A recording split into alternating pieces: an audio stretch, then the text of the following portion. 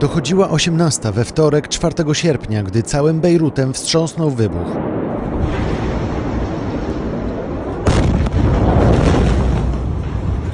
W powietrze wyleciało tysiące ton niezabezpieczonych azotanów, a eksplozja odczuwalna była w całym mieście.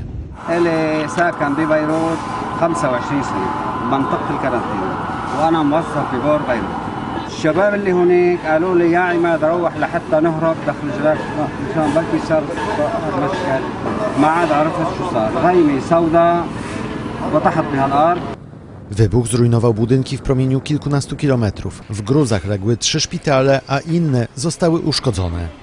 في بيناتنا ثلاث جرحى وفي كسورات وفي عنا مرضى استشهدت عنا مرضى كمان صار عندها نزيف بالدماغ و- وفي كثير ناس تعرضت لل Mieszkańcy Bejrutu od razu wzięli się do porządkowania najbardziej spustoszonych dzielnic. Ludzie spontanicznie wyszli na ulice z łopatami i lekkim sprzętem, żeby usunąć gruz i szkło.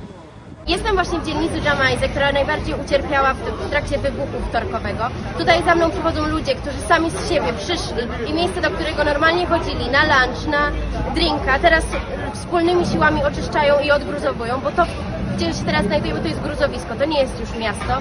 Eksplozja całkowicie zniszczyła też port w Bejrucie, który był głównym kanałem importu towarów. Co prawda niewielka część operacji została już wznowiona, ale możliwości portu będą ograniczone przez wiele lat.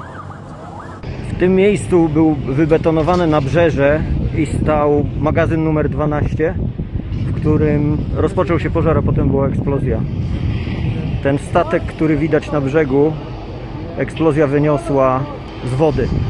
Pomoc Libanowi zaoferowało kilkadziesiąt krajów, w tym także Polska. Na miejscu są m.in. przedstawiciele Polskiego Centrum Pomocy Międzynarodowej. Fundacja, która od 8 lat działa w Libanie, pomaga teraz w zabezpieczeniu i odbudowie zniszczonych mieszkań w Bejrucie. Inne polskie organizacje zbierają też pieniądze na pomoc Libańczykom.